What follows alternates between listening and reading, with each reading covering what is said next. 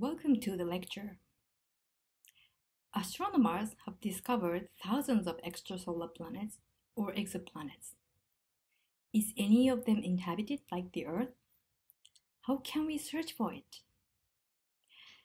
In this lecture, I will talk about the techniques to study exoplanet atmospheres and possibly surfaces, which is an essential step toward finding life on exoplanets.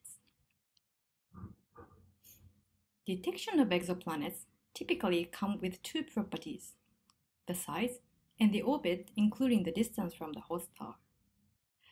For evaluating their potential for life, we definitely need to get more information. But how? It has to be reminded that exoplanets are light years away. This means that it's not realistic to actually visit there.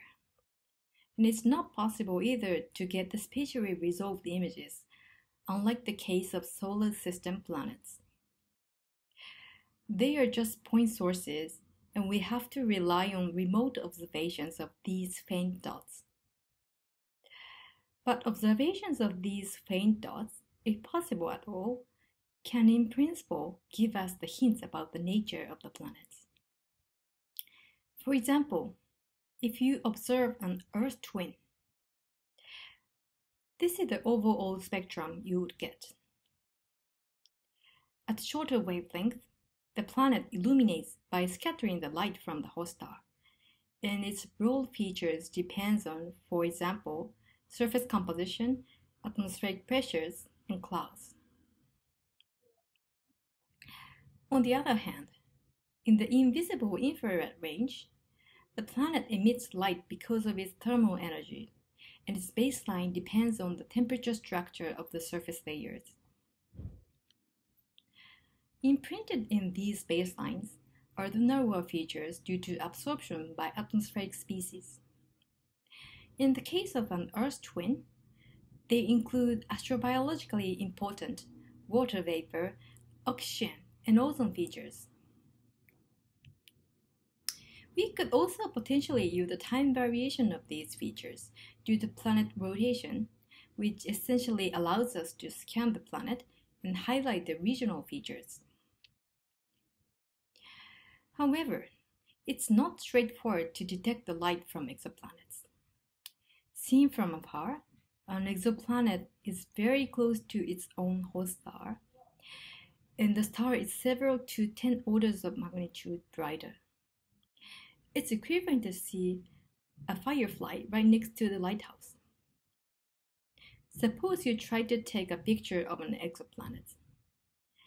Then the host star is always there, and on the imaging plane, the star is blurred and the planet is in the skirt of it.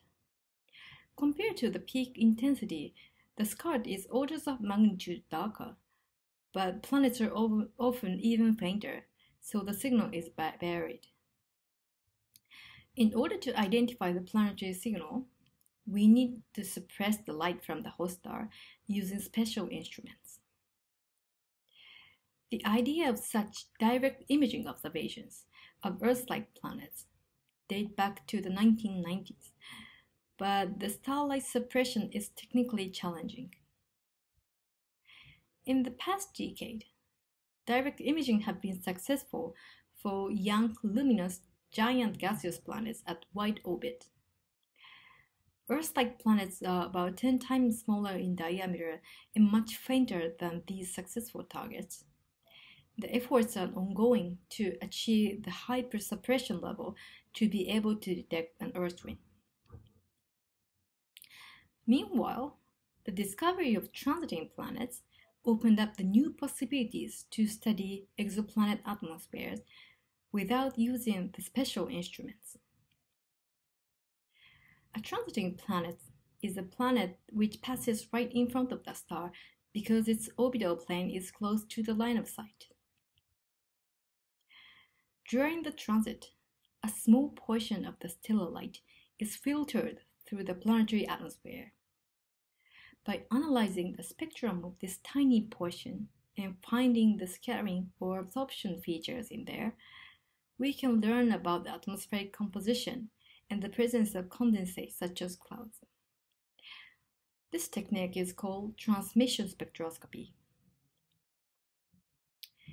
In many cases, transiting planets also pass behind the host star, and it's called planetary or secondary eclipse. At the time of the eclipse, the planetary flux is blocked by the star.